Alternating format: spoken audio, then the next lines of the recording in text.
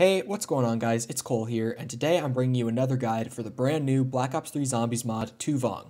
In this video, I'm going to be going over how to get the ice bow on the map, and before you can do this, you will need to know how to turn on the power, activate the pack punch, and get the recurve bow. So if you need a guide for any of those, I'll have all of them in the cards of the video, as well as in the description down below. So without any further ado, let's get right into it. Once you have the bow in your game, you will want to come to the village and come to this hut where the ammo box is, and grab the dry ice out of the cooler on the floor.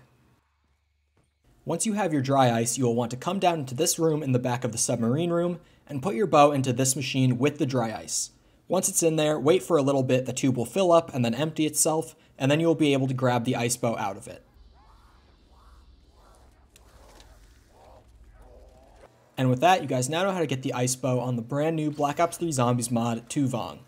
I hope you guys enjoyed. If you did enjoy or if this video helped you out in any way, feel free to go ahead and leave a like, a comment, or a subscription. Any of those would be greatly appreciated. If you're looking for any more Tu Vong guides or just any other custom zombies guides, I have a lot more on the channel and I have a lot more coming soon, so feel free to go ahead and check the playlist in the end cards of the video or the channel for more.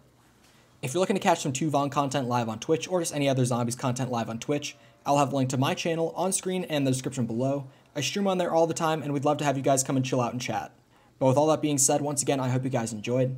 I hope you all have a great rest of your day, and goodbye.